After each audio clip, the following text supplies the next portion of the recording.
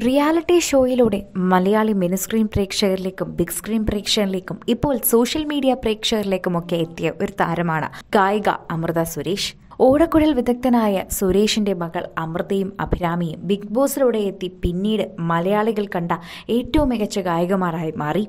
Idea star സിംഗറിലൂടെ അമൃതയുടെ ജീവിതം തുടക്കം കുറിച്ച് പിന്നീട് ഗാനരംഗത്തേക്കെത്തി. അവിടെ നിന്ന് തന്നെ ബിഗ് ബോസിലേക്ക് എത്തി അവിടെ നിന്ന് ഫാഷൻ രംഗത്തേക്ക് വരെ താരങ്ങൾ എത്തി എന്ന് പറയാം. അമൃത എന്ന് ഇടുന്ന വസ്ത്രത്തെ പോലും എല്ലാവരും ശ്രദ്ധിക്കാറുണ്ട്. ശരിക്കും പറഞ്ഞാൽ അമൃതയും ഗോപി സുന്ദറുമായിട്ടുള്ള വിവാഹത്തിന് ശേഷമാണ് കൂടുതലും ഇവരുടെ വിശേഷങ്ങൾ ശ്രദ്ധിക്കാറുള്ളത്. ഇന്ന് ഗോപി സുന്ദറിന്റെ പിറന്നാൾ. ഗോപി സുന്ദറിന് പിറന്നാൾ ആശംസിച്ചുകൊണ്ട് രാവിലെ തന്നെ അമൃത എത്തിയിരുന്നു. പക്ഷേ ഇതിന് പിന്നാലെ ഇവർ ഒരു അനാഥ മന്ദിരത്തിലെത്തി പിറന്നാൾ ആഘോഷിച്ചിരിക്കുകയാണ്. അതോടൊപ്പം ഡാൻസ് കളിക്കുന്ന വീഡിയോ ഉൾപ്പെടെ അമൃത പോസ്റ്റ് ചെയ്തിട്ടുണ്ട്.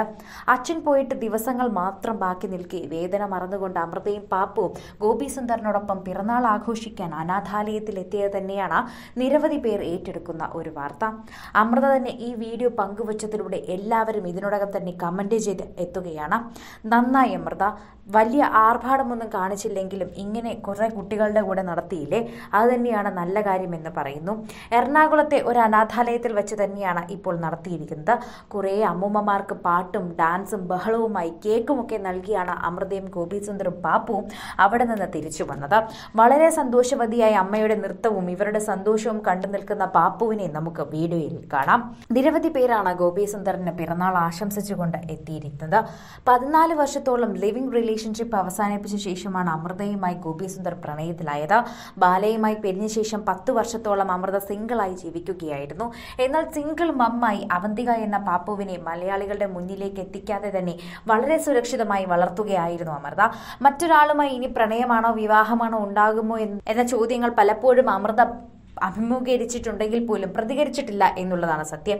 അവസാനം ഗോപി സുന്ദരം അമൃതയും കൂടി വിവാഹം കഴിച്ചു എന്ന വാർത്തയാണ് ഒരു ദിവസം വന്നത്. വളരെ ചെറുപ്പമായിരുന്നപ്പോഴാണ് അമൃത ബാലയെ വിവാഹം ചെയ്തത്. അതും പ്രണയ വിവാഹം. ശേഷം ഇരുവർക്കും ഒരു മകൾ പിറന്നു. മകൾക്ക് ഒരു വയസ്സ് പിന്നിട്ടപ്പോഴേക്കും ബാലയുമായി അമൃത വേർപിരിഞ്ഞു.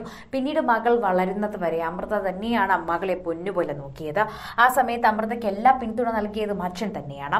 അമൃതയുടെ പിതാവ് ഓടക്കുഴൽ വിദഗ്ധനായ സുരേഷ് അന്തരിച്ചിട്ട് മാസങ്ങൾ തികയുന്നതേയുള്ളൂ. ഉള്ളൂ. അത്ര വേർപാടിൽ തന്നെയാണ് ആ കുടുംബമുള്ളത്. അമ്മ ലൈലയ്ക്ക് പോലും ഇപ്പോഴും സങ്കടം സഹിക്കാനാവുന്നില്ല. മകൾ പാപ്പുവും സോഷ്യൽ മീഡിയയ്ക്ക് പ്രിയങ്കർ തന്നെയാണ്.